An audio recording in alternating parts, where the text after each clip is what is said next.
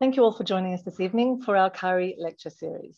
I'm Lindy Crew, CAARI's director, and it's my pleasure this evening to introduce our speaker, Dr. Ian Randall, who is with us on Cyprus as a CAARI CAORC Fellow, a research visit delayed by the pandemic, but we're very happy that he's finally made it out here to join us.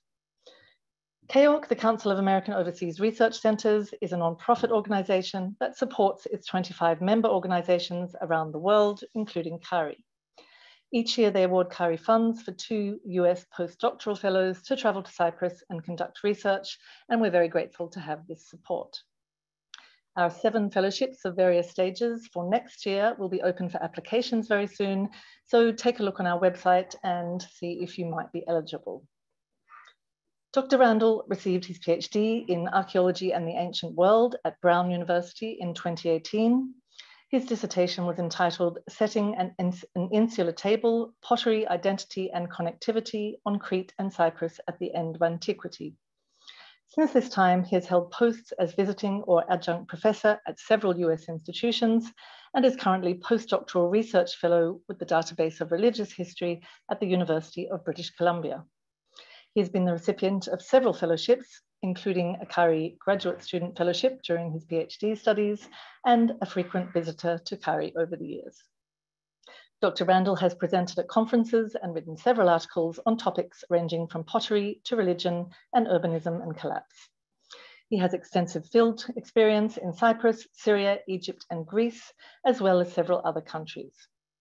His current fieldwork on Cyprus is as pottery analyst for the Kourion Urban Space Project directed by former CAARI director Tom Davis, who's with us this evening, and CAARI trustee Laura Swantek, who I believe might also be here with us this evening on Zoom. This summer, he also served as survey field director for the Palamas Archaeological Project in Greece. I would now like to invite Dr. Randall to present his lecture this evening entitled Disaster and Debris, Remaking Society in Post-Earthquake Kourion. Thank you.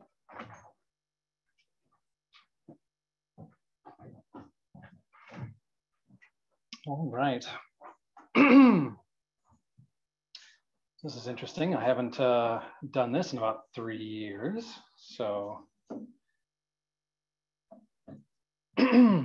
so good evening, everyone, and welcome. Uh, first, I'd like to thank CAARI for the opportunity to open their autumn lecture series. Uh, CAARI has been a home away from home for me ever since I started working in Cyprus. Um, and I found the Cypriot archaeological community equally welcoming during that time. So thank you so much. This talk covers some of my recent research at Kourion and in the Episkopi Museum. Uh, it's a project that was disrupted by the pandemic, but is now getting back on track. Before I talk about earthquakes and Kourion, however, I'd like to talk a little bit about hurricanes, uh, although I have no connection with the one currently bearing my name that just destroyed a good portion of Florida. So on August 29th, 2005, Hurricane Katrina struck the city of New Orleans in the United States, causing devastation across the city and region. Uh, the recovery and cleanup was organized by a series of federal and local officials, as well as by the people of New Orleans itself. These various efforts were often conducted with differing priorities in mind. Priorities that threw into stark contrast pre-existing structures of power and inequality. In a recent study of contemporary archaeological processes, Shannon Dawdy outlined not only the ways in which these priorities shaped the new urban fabric of New Orleans, but also through their very enactment produced new forms of identity and social cohesion. For example, poorer sections of the city were left to languish after the hurricane, while more affluent neighborhoods received more immediate federal attention. Moreover, a new dump containing the mass of hurricane debris was located in Lower Nine, a poor, largely immigrant community that, as a result, experienced a sharp uptick in locally driven political activism. Rather than a single event that divided time and society into a before and after, the disaster was constructed from the social fabric that pre-existed it. From an archaeological perspective, this provides us with an opportunity. An opportunity to use examples of rebuilding and recovery to see how communities are articulated and how they go about adaptively rearticulating themselves according to cultural logic. This taphonomy of disaster, Dawdy's term, examines then who is doing the rebuilding, what they are rebuilding, and what they choose to leave fallow. It also covers how people renegotiate their relationship to material culture more generally when things become unavailable. The ability of a system to incorporate these social and physical transformations, adapting itself to both long and short-term conditions, has often been described as its resilience. Hurricanes, of course, are just one example of a short-term cataclysmic event, event that leaves an archaeological signature. Others include invasions, volcanoes, fires, epidemics, and earthquakes. Before I talk about Byzantine Kourion, though, uh, which was largely destroyed in an earthquake at the end of the fourth century, I'd like to discuss why I'm looking at the late Roman period at all. In approaching anthropological questions of social cohesion, power, and identity, it is sometimes easier to examine societies that are far more different from our own than the late Roman Empire. And indeed, this was a preoccupation of much of anthropology during the 20th century. Leaving aside questions of the definition of the modern nation state, the late antique and medieval Eastern Roman Empire, Byzantium, can certainly be considered a state level society with a, whoops, with a centralized bureaucracy, uh, a civil service, professional army, and a high level of monetization over most of its history. Moreover, it lasted for 1100 years, an incredibly long time in which to consider issues of identity and cultural continuity. Accepting its longevity, the similarities that can be drawn with our own society make those divergences that can be found even more instructive, and any assumption of parity in how systems and people dealt with crises a lost opportunity. When facing conditions of considerable change, sometimes sudden, people make decisions about their relationship to material culture and each other that are often quite visible in the material record. Byzantium, over its long history, was subject to a considerable number of such sudden changes, including local disasters like the earthquake that destroyed Kourion. And it is a rare site indeed in the Eastern Mediterranean that does not show some signs of earthquake damage. Resilience of Byzantine, Byzantine society to earthquakes, particularly its top-down systems of command and control, has recently been anal analyzed by Jordan Pickett and Lee Mordechai and found to be quite strong. This might be surprising given the problems attendant on disaster recovery in late antiquity. There is, for example, the slow communication times and speed of travel. Clay, brick, and stone are notoriously difficult to earthquake proof, with only wood really showing the necessary tensile strength in the face of seismic wave action. Whoops, whoa. I guess I won't rest my hand there. um, here we go. Um, in addition to the initial loss of life and structural damage, secondary effects of an earthquake might include famine, from disruption to rural infrastructure, disease, from destruction of aqueducts and baths, to civil unrest following on shortages of food or housing. Moreover, the approach to natural, nat natural disasters in late antiquity can be generally characterized as reactive, uh, much like our own, come to think of it. Um, although some recent arguments have been made that for Hagia Sophia, at least, uh, the mitigation of earthquake damage may have been part of the calculus involved in that monument's construction. What then are some of the ways that Byzantine authorities dealt with disaster, particularly of the seismic variety? The responses available to the central government in Constantinople were limited. Money could be sent, as was done with Antioch following an earthquake in 526 but far more common was tax remission. Salamis Constantia, for example, was granted four years of tax remission following the devastating earthquake of 342. Additionally, engineers or materials could be made available for construction, although these tended to be fairly long-term affairs and centered on either symbolic or large-scale infrastructure projects. This is a far cry from the descriptions found in hagiographies and chronicles, in which emperors are described as rebuilding entire cities. The primary burden fell on local officials. Just who these officials were differs significantly between the earlier and later Roman empires.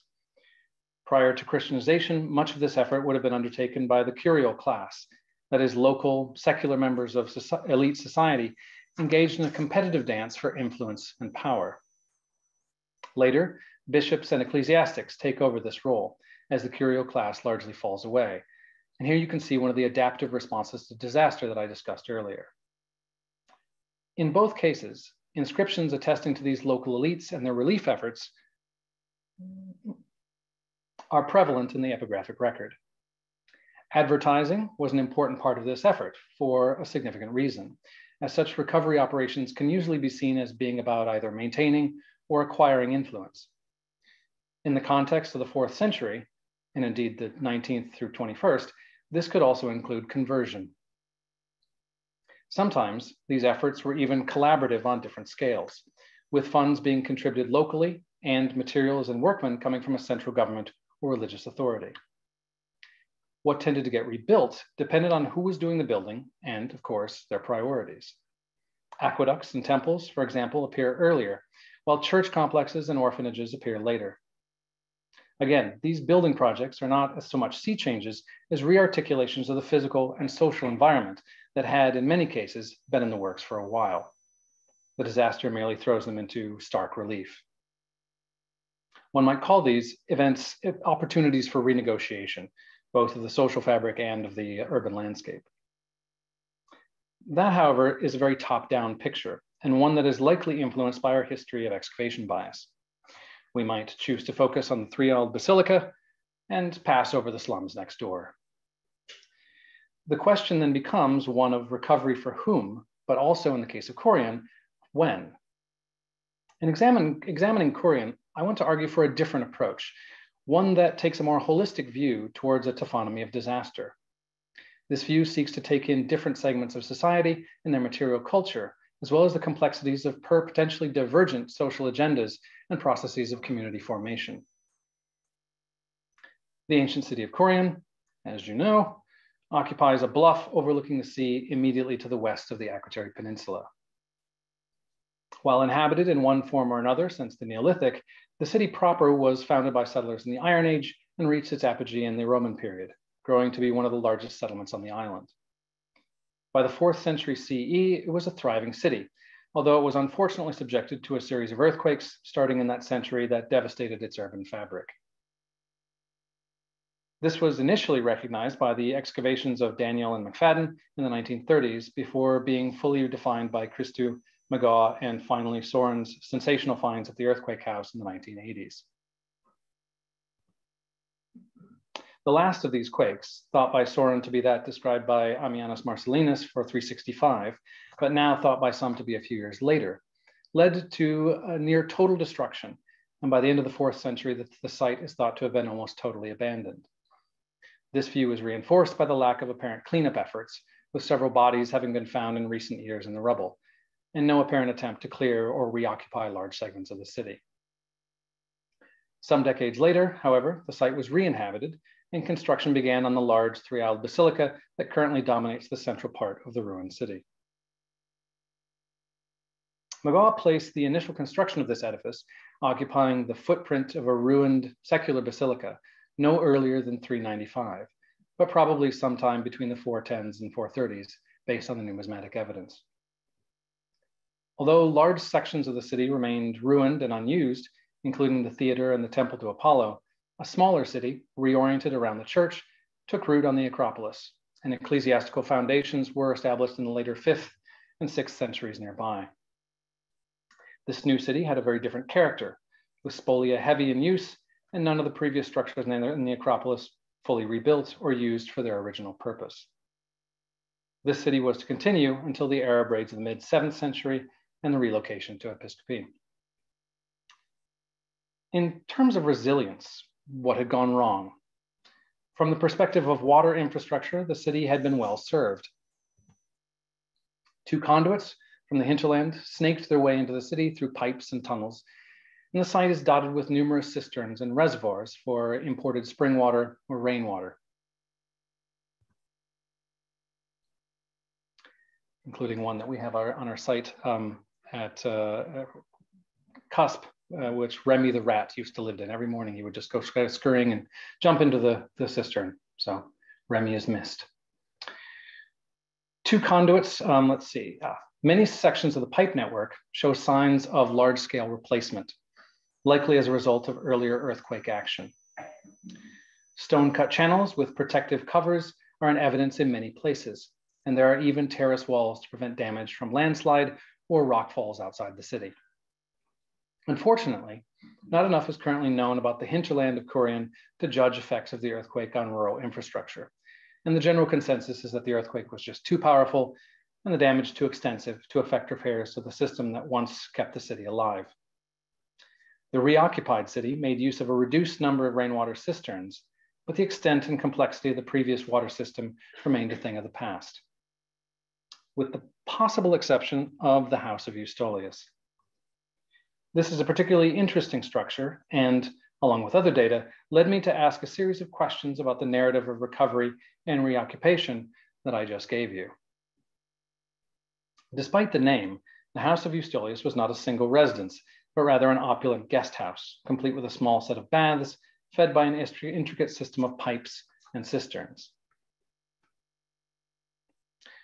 Replete with mosaics and sited at the southeastern end of the old city near the theater, it is considered to have been built in the late fourth century, shortly after the earthquake.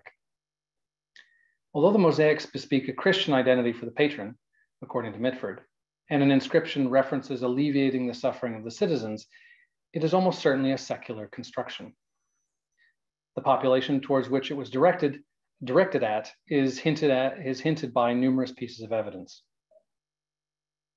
In his 1961 report on the clearing of the nearby theater, Stillwell notes that along the back of the structure were found a number of humble dwellings or shops, as he called them, partly located in underground caverns and constructed of spolia and rubble.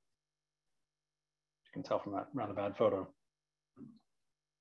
Uh, coins from these habitations date to the reigns of Constantius II, uh, 345 to 361, Valens from 372, and Honorius from the year 433. Christou, in his 1975 excavations, noted several post-earthquake structures in the southeast of the Agora and in the House of the Gladiators, but did not describe them in depth. Soren also speaks of what he calls post-earthquake squatter habitations in the Temple of Apollo and in the southeast of the city, in the Baths and in the West Complex. Throughout his excavation, Soren removed the overburden above his earthquake levels mechanically and did not record them, um, noting frequent instances of post-earthquake contamination and the post-earthquake dumping of ambiguous ceramics. Uh, Parks's excavations at the Amathus Gate Cemetery also seem to show continuous use, although there is a distinct shift from chamber tombs to presumably Christian cist graves. A taphonomy of disaster for fourth century Kourion then begins to look a, a far more complicated than it at first appeared. Are the basilica and the House of Eustolius competitive foundations, or do they represent different levels of governmental recovery efforts at different times? Towards which communities are they directed? The situation of the basilica on the footprint of its secular predecessor may, in this sense, be more symbolic than convenient, as well as its heavy use of pagan spolia. If there is a significant community at uh, Kourion post-earthquake, but pre-basilica, what are their efforts at adjusting to these new conditions? How do we factor them into a consideration of urban resilience? Undoubtedly, the city's population was under considerable social stress, but to posit a caesura based on top-down rebuilding efforts is to miss the opportunity to examine the processes of recovery and adaptation at all levels of society that usually follow short-term cataclysmic events. As the ceramicist for the Kourion Urban Space Project, I have sought to place the information from our excavations on the edge of the bluff in conversation with that from earlier projects on the Acropolis to gain a better understanding of this post-earthquake situation, and by extension, the social fabric of Kourion at a time of illuminating stress. To this end, I sought and received the very kind permission of the Department of Antiquities to examine the material from the 1930s and 40s excavations by McFadden and Daniel at the House of Eustolius in the theater, um, the which has occupied my last few weeks. After I discuss the findings of our excavations near Soren's earthquake house through the lens of a taphonomy of disaster, I'll talk about some of my tentative conclusions and continuing questions after looking at the theater and Eustolius material in the storerooms in Episcopi. Over the last 10 years at Kourion, minus a COVID hiatus, we have been excavating in a large elite residence or public structure on the southern side of the site, along the bluff and next door to Soren's 1980s excavations that he dubbed the Earthquake House. And on this map, it's just about where the words Roman house are located, and I've placed a small red box. Based on the pottery and other recent finds, such as this rather lovely piece that came up this year, we have been able to date the main structure to the second century CE. By the fourth century, the building appears to have been subdivided with interior wall construction and refuse pointing to perhaps not as affluent residence as it had previously enjoyed. And here you can see one of those interior walls, which you'll note is quite different from the one it's abutting. Uh, and here, um, proximity to the earthquake house and the public market, both of which had also been subdivided by the fourth century, the former containing a stable and the latter private dwellings, also point to this portion of the city as being not the most up and coming. This is further reinforced by the fact that neither our building nor the earthquake house were cleared of debris or human remains following the seismic event at the end of the fourth century. Having the opportunity to finally look over the pottery more generally alongside our bulk removal this season, I was able to identify up to four distinct episodes of dumping in our excavation area. This material is primarily from the end of the fourth century with small quantities of earlier intrusive material that may indicate scraping or clearing in other areas. The presence of coinage and high quality items, such as this glass millefiori plate from Egypt, may also indicate what manner of areas the material was being cleared from. The dump immediately next to our excavated structure also contained high percentages of red slip fineware from this period. Many of the sherds in the cusp dumps were relatively large fragments with no signs of repair or reuse, which may be an indication of no lasting disruption to the supply chain immediately after the earthquake, or also of attendant class associations. So I thought that was rather interesting and spoke about the priorities of uh, a post-earthquake Kourion. Less affluent areas are not being cleared and indeed are being used for dumping, possibly from more well-off well parts of town. The main urban basilica, as mentioned, is constructed some, some years after the earthquake on the footprint of the old secular basilica and reusing much of its building material. Possibly a symbolic gesture, this sought to reorient the Acropolis around a new urban core, even as Christou's excavations point to tantalizing evidence of squatter habitation in the vicinity. To try and gain an understanding of how this dynamic worked, alongside our material from CUSP, I've been looking at the material from two other major buildings on the eastern side of the Acropolis, the theater and the House of Eustolius. Oops. Um, only partially published, the material from these early 20th century excavations has proven more difficult to grasp, not least because the tags were written on wood in pencil, um, but some tentative findings do suggest themselves. The theater, which, as Stillwell mentioned, showed significant signs of humble dwellings around the time of the earthquake, as indicated by the coinage, produced a lot of fourth and early fifth century pottery. Much like the upper levels of dumping in the cusp building, this pottery has shown occasional signs of early intrusions. And actually the bits I showed here have a number of second century and Hellenistic inclusions in them. That one in particular. Uh, Mav, um, Mavromatis in his 2009 dis dissertation and following on from the work of LaMotta and Schiffer in the American Southwest and Manning and Routman on Cyprus, looked at the average ratios of fineware, tableware, amphorae, and cooking pots in fill, household debris, and other primary and secondary disposal contexts. Some of the material from the theater seems to roughly match the ratios for fill, which provides for a complicated picture in any taphonomy of disaster particularly given its proximity to the ameliorative house of Eustolius. The material from the bath complex and guest house are of a somewhat different character. Here we see larger sherds and a generally higher concentration of finewares, with lower numbers of pithoi or storage vessel fragments. This material also seems to go considerably later than that in the theater or in the cusp area. And this is a bad picture to have up for that, but We'll get to that in a second. Um, I'm still trying to determine what contexts extend into the pre-construction period for the House of Eustolius. McFadden stated that the earlier phases also indicate a sense of wealth, but much like our building over the bluff, money doesn't last forever. And I need to know if this remained the case immediately prior to the earthquake. Let's see. Actually, let's go back to that. All of this is to say that I'm still coming to grips with a taphonomy of disaster for post-earthquake Kourion. In particular, I want to try and outline the relationship between the Basilica and the House of Eustolius and their relative placement vis-a-vis -vis the poorer sections of the city in cleanup and recovery efforts. Both the Basilica and the House of Eustolius are institutions aimed at providing services to citizens under considerable stress.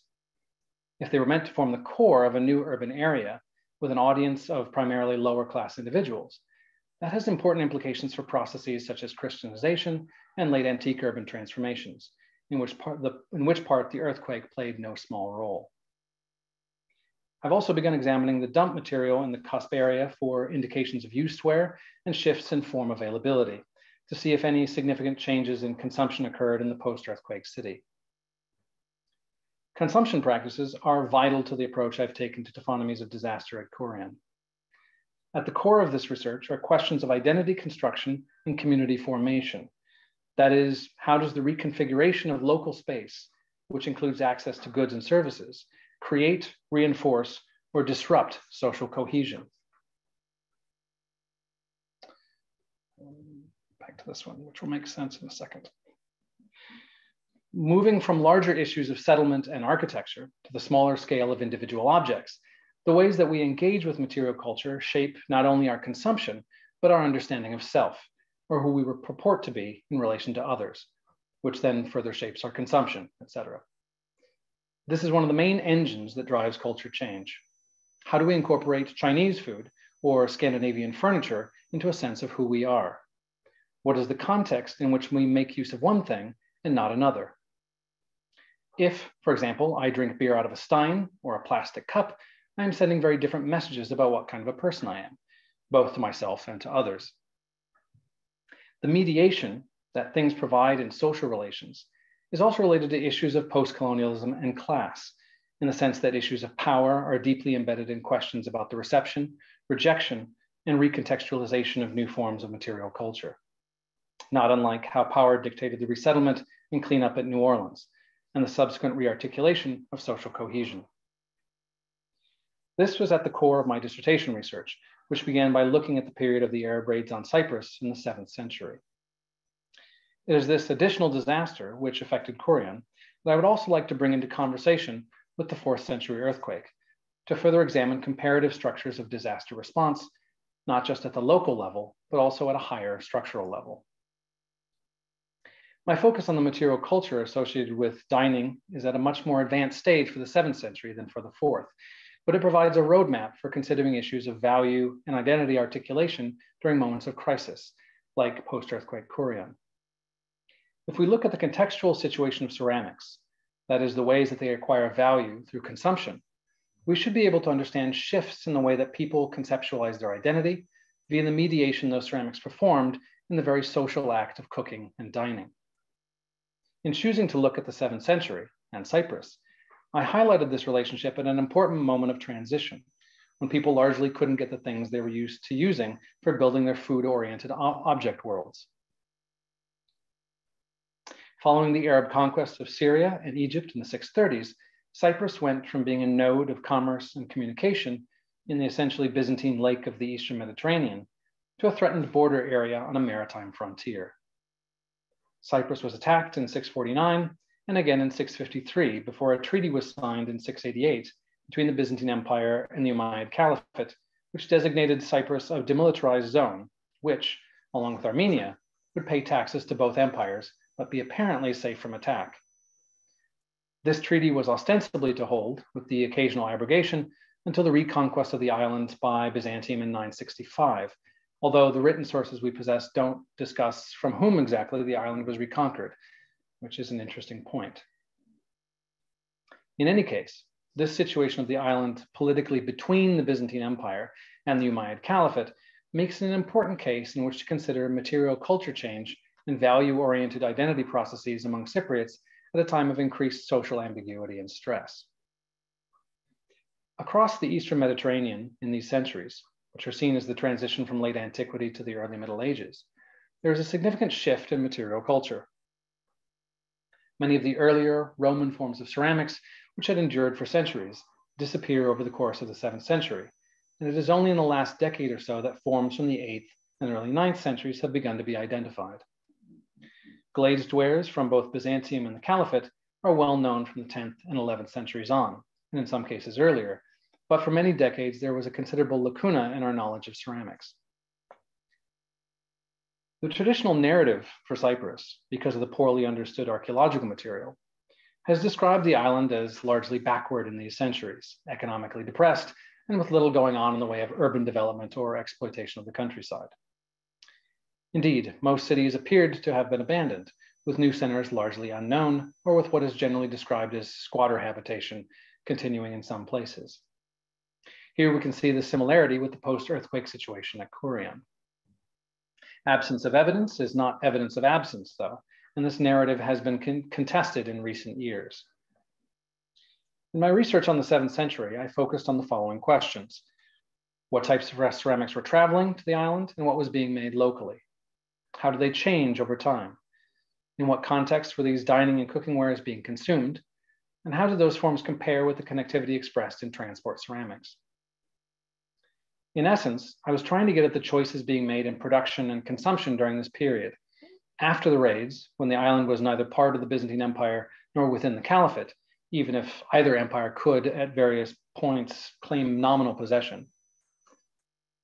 At a smaller scale, and this included the material at Kourion, I wanted to see how people were eating and cooking.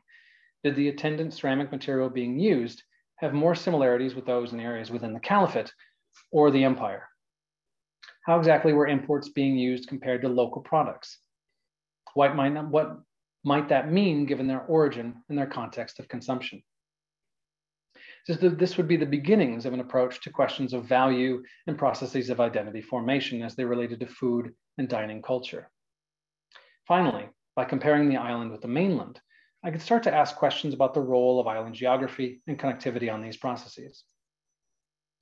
This is where the material from the fourth century comes into the picture, where I'm beginning to use a similar approach, starting with issues of contextual consumption. Shared material culture on the micro or macro level is indicative of common practices of consumption and provides a way to start talking about identity in the Byzantine Empire of the fourth or the seventh centuries as it is just these types of common practices that often form the basis for internal ideas of group cohesion. I drink beer out of a plastic cup, and my neighbor does the same. Perhaps that says something about who we are together. Any identity associations may be unconscious to the participants, but certain contexts may throw such similarities into sharp distinction, such as an encounter with beer drinking Stein people in an informal setting. In any case, much of the discussions that have prevailed in the scholarship around Byzantine notions of identity have often revolved around elite texts on the continuity of ancient Greek, lit Greek literature and culture rather than shared material practices. As this baseline of ceramic similarity changed in the late 7th century, as the supply chain experienced difficulties, the group identities that may have been linked to common dining and cooking habits likely changed with them. That supply chain breakdown is largely considered to be the result of tensions between the Byzantine Empire and the new Arab Caliphate, including the raids. The grain ships stopped, as it is thought did much state subsidized shipping. These are the, the Annona shipments from Egypt. While debate has raged over the extent to which market forces dictated the movement of goods in the late antique Mediterranean, it cannot be denied that by the late 7th century, the wide distribution of red slipped dining wares had largely, largely ceased. Trade generally collapsed into regional systems, and potting traditions and consumption practices took on new, far more localized forms. This much is fairly well known, although, as mentioned, it is only recently that these local ceramic trajectories have begun to be plotted and understood. By the late 8th and early 9th centuries, a recovery and resumption of connectivity between various areas occurs, but by then, the ceramic picture in the Eastern Mediterranean had changed completely. The question then becomes, in addition to issues of cleanup and urban re reorientation, how do consumption practices change following large-scale catastrophes like seismic, seismic events or invasions? What effect does this have on contextual consumption and group cohesion? Following the disruptions of the 7th century, one of the only imported finewares of the new glazed variety to appear at, on Cyprus is glazed whiteware from Constantinople. This is a very unfortunate picture of these. The presence of this ceramic, alongside the overall picture of intensely local forms of ceramic consumption, might indicate an increased class-based differentiation in some forms of dining, dining practice in the 7th and 8th centuries. Obviously, the rich have always dined richer, in antiquity often with metallic vessels, but the extension of this to ceramic forms, the breakdown in regional connectivity, and the emergence of distinctly regional traditions of pottery points to the beginnings of a horizontal as well as a vertical social differentiation along the borders of the empire. This is all the more interesting when held up against administrative changes taking place within the empire at this time. In the course of the 7th century, as Byzantium weathered the crisis produced by the Islamic conquests, it streamlined and centralized its administration. In the provinces, local elites were largely replaced in their duties by Constantinopolitan bureaucrats. Moreover, Constantinople took on a singular religious importance with the growth and power of the Patriarchate and the eclipse of some earlier urban and ecclesiastical centers. The performative aspect of eating off of a Constantinopolitan dish when the rest of the island's inhabitants uh, were turning towards locally innovated, pro innovated products or attempts at a conservative maintenance of older forms of dining practice and material culture could signal a distinct shift in some identity processes associated with ceramic consumption and the respective value attached to these material markers in relation to group identification. It is just such shifts that I am looking for in the consumption practices of reoriented urban populations at Kourion following the fourth century earthquake. Comparing these two episodes to look at processes of social cohesion following disaster has, of course, important resonance for the present. How are our own object worlds changing as a result of COVID? Or our sense of identity based on shared material experiences? How are class issues exacerbated by all of this?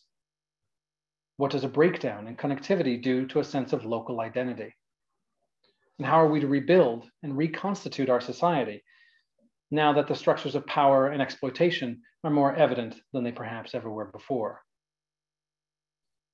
The archaeology of late antique and early medieval Cyprus can help us here.